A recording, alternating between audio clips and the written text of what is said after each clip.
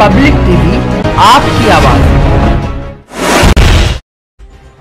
मकर संक्रांति के पर्व पर महानगर में कई स्थानों पर खिचड़ी वितरण का आयोजन हुआ। इसी कड़ी में एकता समिति द्वारा अकबर के किले के पास खिचड़ी वितरण कर लोगों को प्रसाद ग्रहण कराया, जिसमें समाज सेविका दीपाली अग्रवाल ने गरीब लोगों को प्रसाद देकर धर्म लाभ कमाया।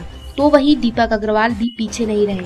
उन्होंने भी सबको प्रसाद बांटा। इस दौरान अंचित अग्रवाल दीपक अग्रवाल दीपाली अग्रवाल अर्पित सक्सेना विशाल आदि लोग मौजूद रहे।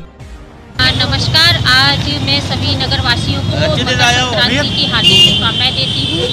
और आज मकर संक्रांति के उत्सव पर हमने एकता सेवा समिति द्वारा खिचड़ी वितरण का कार्यक्रम किया है जिससे हम सभी राहगीरों को आते जाते को हम खिचड़ी का वितरण कर रहे हैं जिससे हम एक संदेश पहुंचाना चाहते हैं कि खिचड़ी एक ऐसी चीज़ है जो सब मिला के एक खिचड़ी बनती है जिसका मतलब है कि हमारा सारा भाईचारा सारा जात पात और सब एक जगह मिक्स हो जाए।